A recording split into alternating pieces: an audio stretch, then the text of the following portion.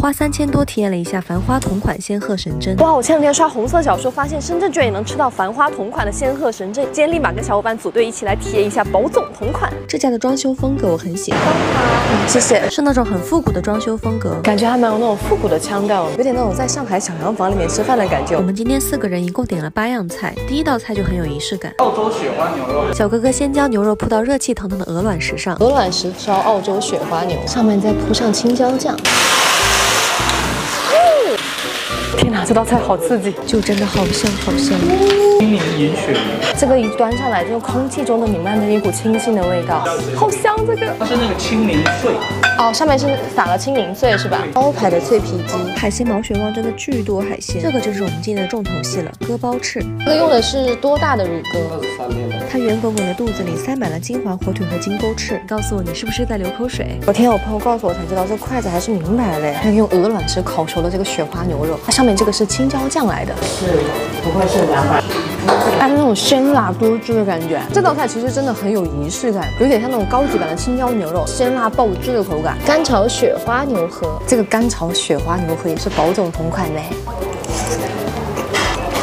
嗯，它虽然是在一个这种很高端的店里啊，但是你吃它这个牛河是挺有锅气的。它这个青柠银鳕鱼刚才端上来，那个青柠的味道超级浓，感觉我们桌子四周都充斥着一股清新的味道。上面是满满的青柠碎。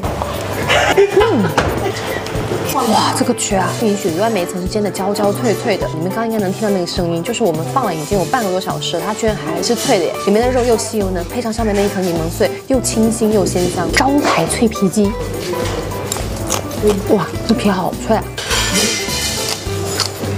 好脆啊！搭配那个酸酸甜甜的百香果酱就会比较解腻。嗯，这个也好脆啊！这个毛血旺感觉是我吃过比较豪华的了。你看这里面的虾、元贝还有鱿鱼，这种很大片的鲍鱼片。这里面那种虾也很大，好讲。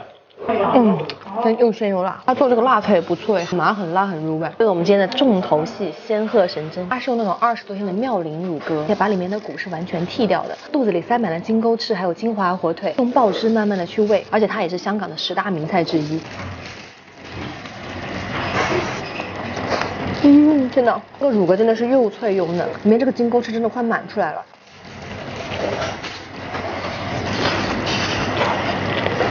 这回菜真的绝了，太满足了。这是龙虾泡饭哦，而且我配一个这样的杂米可以撒进去。